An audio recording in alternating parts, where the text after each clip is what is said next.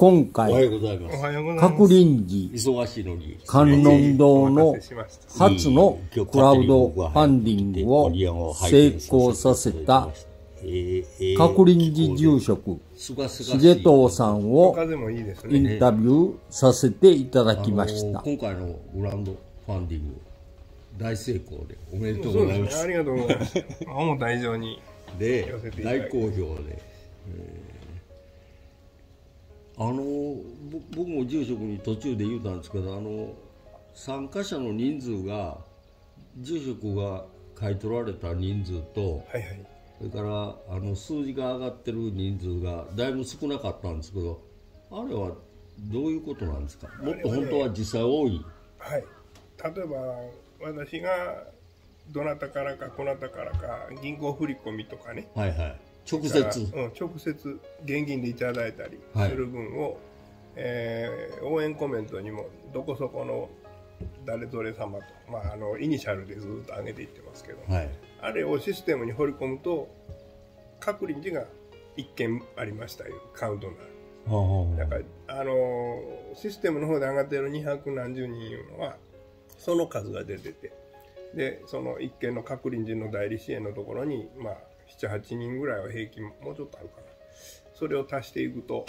はい、あの300何本になるはずです。おうおうおうおう本当はほなあれ200 200なんか300いってなかったいてないですね。200おほな300超えてるんですね超えてます。おお、はい。すごいね。でそのやっぱりより多くの方に参加していただいた方が住職としては嬉しいですよねそれでねびっくりしたのは、まあはい。他府県の方が非常に多かった。ああ前もなんかちょこっとおっしゃってましたね、地元の方はもちろんなんですけど、あんまり今まで行ったことないとかこういうことは大変なことやからいうので興味向けていただいた方がね随分あったのでその点は良かったなとどんな方なんでしょうかね。思ってうん印象に残ったのは気恥ずかしいですけど加古川の宝尾とか、えーまあ地元の宝尾とかねそういう表現を使ってこうまあご出身加古川の出身者がいう方もありましたし、えーそれから奈良県の方でしたかね、あのー活動報告にも挙げたんですけど奈良県の方でやはりこういう古い建物の修復に力を入れておられる、まあ、グループ活動しておられますけどそこからも支援いただいて古い建物の修復管理にはものすごくお金かかるやろから一口やけどしてもさせてもらうというようなことがありましたし。なんか奥さんとさっきちょっと住職とお会いする前にお話ししとったんですけど千葉県の方あ千葉からもはいはい千葉の方もありましたし、うん。え加古にゆかりのある方なんですか？えうんそれもよくわからない。はい千葉から北海道から九州えー、北海道も？ありましたよ。まあやっぱりポチポチつながりでしょうね。へざーっと広まるみたいです。え。私はそれそこまで考えなかったんですけどね。えらいもんやな思います。これは3回あるんですけど3人の中でやっぱり重藤住職が言い出しちゃったんですか？まあそうですね。こう乗っかっていったその大きなきっかけは何なんですか？これはね もうずっと後回しになってたんですね観音堂がね。あ文化財指定がないことがまあ一番大きな理由なんですけども。ただもう去年一昨年あたりから雨漏りが始まってまして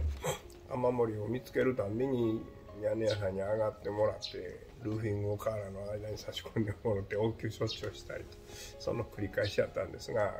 観音堂があって隣に鐘楼があってこっち側にご窓があってその両方に同じ屋根屋さん上がって修理をさっきしてくれてましたから当然大きな雨の日もあるわけで。もう軒先からじゃじゃ漏れなってますせという声を聞かせてもらいました。いや分かってまんねんけど手つけられまへんねんいうことでね言ってましてもうこれはやっぱ辛抱できんとこまで来てしもとるぞと。これ以上ほっとったら中へ雨がダーッと落ちてくる状態になるんでそうなる前にやっぱりちょっと屋根の瓦の吹き替えだけでもしとこうということで。それ45年前やったかな。あのお堂の土台からやり替えて乗せ直すっていうそういう大きい工事の見積もりもしてたんですけどね、やっぱりあの間に合わせの修理を重ねてますからあの本格的にそういう解体するともう部材全部外してもらうとできひんことになってくるやろというのでとにかく飴じまいをしようということでスタートしたんです、うん、スタートしたはええけどもじゃあ内部どうするのと、うん、えー、屋根の乗せ替えだけやけどまあ中のもん全部取り出してませんでしたしね。仏様だけさっきお移ししてもう屋根から下ろし始めてでもこれ戻すとなったらお寿司もガタガタ趣味団もあやくちゃ、えー、もちろん掃除はしましてもね、うん、あの具材が外れたりハゲチョロになったりするようなところへまた戻して「はい綺麗になりました」とはいかんやろと。せっかくやるんやからね。ということで内装部分についてはもうこれ資金がもうないんであんまり。せめて半分ぐらい集まればというつもりでね、クラウドファンディングかけたんです。反応堂に関しては何にも指定がないので仏像もその図式で。指定取れなかったんですか？取れないんでしょうね今のところね最近そうそう、うん、文化財の指定の投資なんか見ても申請見てもね、うん私らから見たら、ずいぶん新しい物件やけどなと思えるようなものも指定にかかってきてますけども、まあそれはそれなりのちゃんと。観音堂は何年、何年観音堂でね、1700トンで何年かぐらいですから、えー、もう302、3年かな。えー、700何年ですから、はい。江戸時代の建物ちょっといじりちゃんこにしてるんですよね。あのいうのがあって、で、私の、まあ、これはオフレコでもいい話なんですけど、土台の下になんか埋まってるかもしれんなと思ってね。他の建物みんな古いじゃないですか。で、観音堂だけ新しいんで、あれだけが単独で潰れる自由があったと思うんです。新たにあの場所がガーンと空いてるから観音堂を建てようと、その1700年代に、18世紀の初頭に建てようという話にはならんと思うんで、前の観音堂があったはずやと。思うんですね。えー、おそらく火災におったんやろ思うんですけど、いうのはあの今回外したバラバラに解体した趣味団のこう隅々に塚柱立ててますがね、その一本がね焦げ目があるんですよ。あこれねお堂の縁の下をこうなってそこももうボコボコなんでその表面の塗り直しだけ今回やるんですけどひょっとしたら土台の下になんかこれこれこんなことがあってるかもしれない。その火事とかねいうのはそんな記録に残ってない？ないんです。ええー、ないです、えー、そんなもんなんですか？うんまあものによりますけどね。浅草の浅草寺さんなんかは浅草寺日記ちゃんと書き方がおる記録が、だか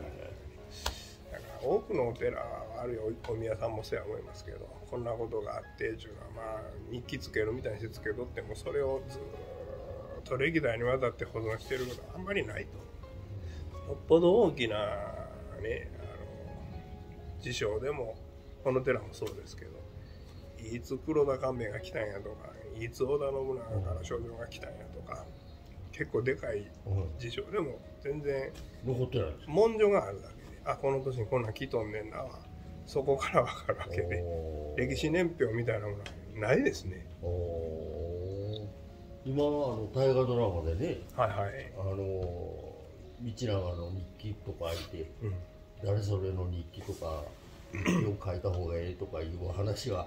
出てきてるけどそんな一切ないんですかね。貴重ですね。あったとしたらね。あこ今回のその先立った修理でもごま戸の屋根の上にちょっと他と違う瓦が乗ってると。いうことが下ろして分かったヘラ書きで様式から仁王門で外した瓦を転用している。ということも分かったんですね。だから仁王門もあの年号がはっきり。これでこの年には存在してたんですよ。分かるわけで。当初の瓦いうことをねいろんな断片資料からずっとそうそうそれでこのこの年にこんなことがまあ近世になってから私らがずっとつく紡ぎ上げてるというたらいいんですかね。そんなことでさ、えー、ここの度のいろいろ修復工事やられましたよね立て続けるそういうのはちゃんと記録に今度は残ってるわけですね。後世のために。いや胸札なりにこれこれと書いてあん例えば東の門なんかにも胸札に書いてあげたりね、はいはいはい、しましたけど昨今のやつは文化財はあの修理報告書とかそれでまあそれは他今日も最後まで